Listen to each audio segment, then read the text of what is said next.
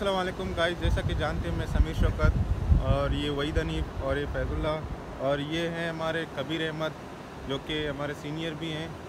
और जानते हैं कि हम मरूम राशिदी आर्टिस्ट ग्रुप गडानी से हैं और आज हम आए हैं हैप्पी न्यू ईयर मनाने। ये है हमारे पास आज गोविंदा भाई। तो हम अभी बनाएँगे, इंशाल्लाह फिर हम आपको दिखाएँगे। ये बीच है।